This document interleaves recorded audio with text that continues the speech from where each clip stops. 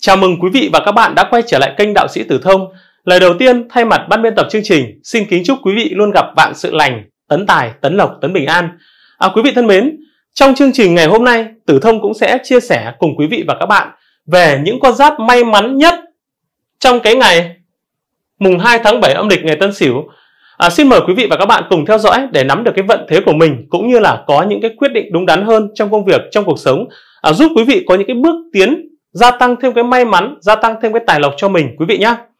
À, quý vị thân mến, cái ngày mùng 2 tháng 7 âm lịch nó sẽ rơi vào cái ngày mùng 5 tháng 8 dương lịch năm 2024 và cái ngày mùng 2 tháng 7 thì nó là ngày thứ hai của cái tháng cô hồn, nó là ngày Tân Sửu. Cái ngày Tân Sửu chúng ta có Tân Kim gặp Sửu Thổ, tức là chi sinh cho can, nó là một cái ngày cát, đấy, người ta gọi nó là ngày nghĩa nhật. Và cái nạp âm của ngày nó là Bích Thượng Thổ, Bích Thượng Thổ. À, trong ngày hôm nay thì nó có trực là trực chất và cái sao là cái sao nguy trong cái bộ nhị thập bát tú. Cái sao nguy nó là một cái sao hung quý vị nhé. Đó. Vậy thì chúng ta cùng xét xem là trong cái ngày mùng 2 tháng 7 âm lịch ngày Tân Sửu thì có những con giáp nào là được may mắn, có những con giáp nào trúng số cũng như có con giáp nào phải cẩn thận kẻo lại gặp những cái vận hạn nó đeo bám. À, xin mời quý vị và các bạn cùng theo dõi trong chương trình ngày hôm nay quý vị nhé. À, như quý vị biết ấy, trong cái ngày Tân Sửu thì chúng ta sẽ có hai con giáp may mắn đầu tiên đó là những người tuổi gì? Tuổi Dậu và những người tuổi Tỵ đúng không ạ? Tuổi Tỵ. Và những người tuổi Dậu. Những người tuổi tỵ và những người tuổi dậu được cục diện tam hợp là tỵ dậu xỉu là nó tam hợp. À, cái cục diện tam hợp nó cũng sẽ mang lại những cái điều cát lành. Nó sẽ giúp cho công việc của những người tuổi tỵ và những người tuổi dậu được hanh thông hơn được thuận lợi hơn và gặp nhiều cái may mắn. Đó. À, vậy nên à, khi mà quý vị gặp khó khăn thì cũng được quý nhân tương trợ giúp đỡ kịp thời khiến cho công việc nó thuận buồm xuôi gió và cái công việc nó hanh thông nó nó cũng sẽ kéo theo cái vận trình là à, tiền bạc tài lộc nó cũng sẽ dễ kiếm hơn Bên cạnh đó, cái vận trình tình cảm cũng như là sức khỏe của những con giáp này cũng không có cái vấn đề gì phải lo lắng trong cái ngày mùng 2 tháng 7 âm lịch ngày Tân Sửu cả. Đó. Tiếp theo là những người tuổi gì? Ngày Tân Sửu thì con giáp may mắn thứ ba nó chính là những người tuổi Tý.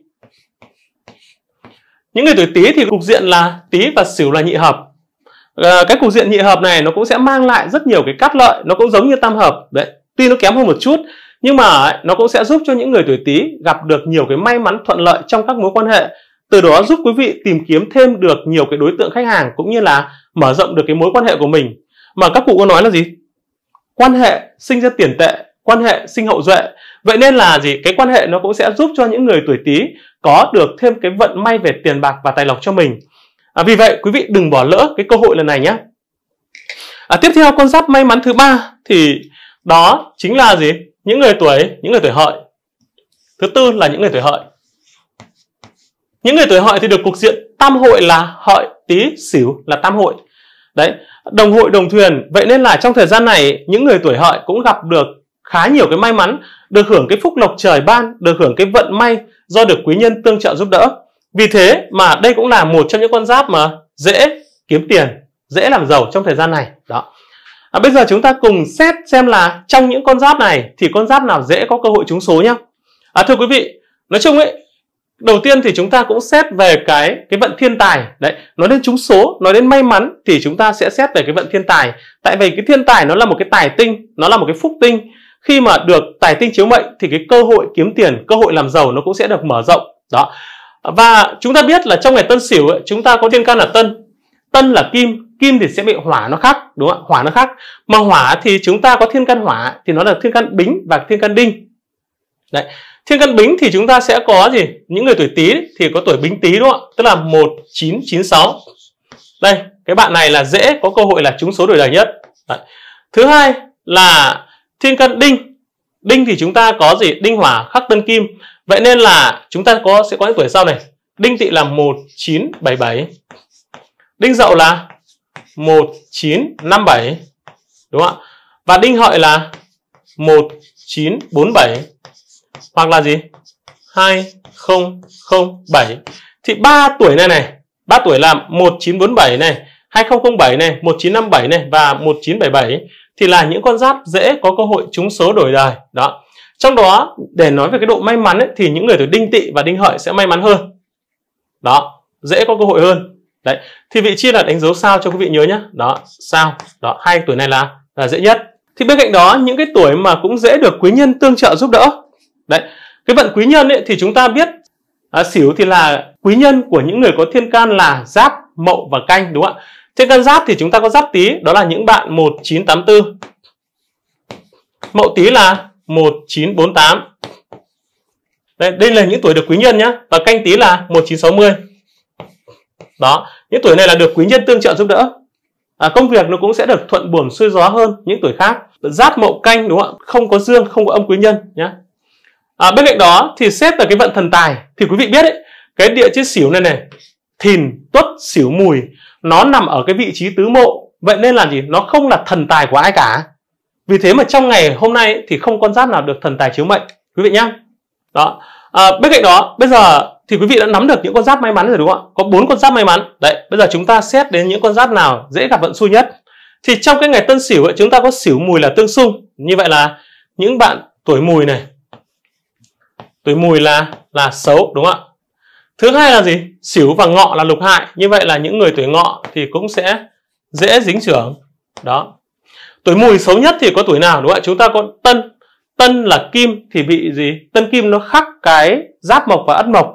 Như vậy là những người tuổi ất mùi 1955 thì sẽ là những người xui xẻo nhất. 1955 đúng không ạ? Là xui xẻo bậc nhất. Đánh dấu sao vào đây. Còn những người tuổi ngọ ấy, thì chúng ta có đó, tân kim thì khắc giáp mộc đúng không ạ? Như vậy là những người tuổi giáp ngọ là 1954 cũng là những cái tuổi xấu. Đặc biệt là tuổi ất mùi này 1955 này. Thì lại vướng vào cái cục diện là gì? Xỉu mùi là tương xung này. Tân ất là là tương khắc này. Như vậy cái ông này sẽ vướng vào cục diện là thiên khắc địa xung đâm ra là rất xấu. Đó. À, như vậy tuổi xui xẻo nhất có lẽ đó chính là tuổi ất mùi sinh năm 1955 vậy nên các bác trong thời gian này cũng hãy bình tĩnh nhé à, trong mọi việc nói chung ấy, khi mà gặp cái cục diện tương xung và tương khắc, thì nó sẽ khiến cho các bác trong thời gian này trở nên nóng nảy hơn, vội vàng hơn và dễ đưa ra những cái quyết định sai lầm trong công việc cũng như là trong cuộc sống. Vì vậy, các mối quan hệ nó hay xảy ra những cái chuyện bế tắc và dễ gặp những cái chắc trở. Đó. Vì vậy, trong thời gian này các bác cần phải hạ cái tôi của mình xuống, sống dĩ hòa vi quý với mọi người xung quanh để không gặp phải cái cục diện xấu nó đến với mình, quý vị nhé đó.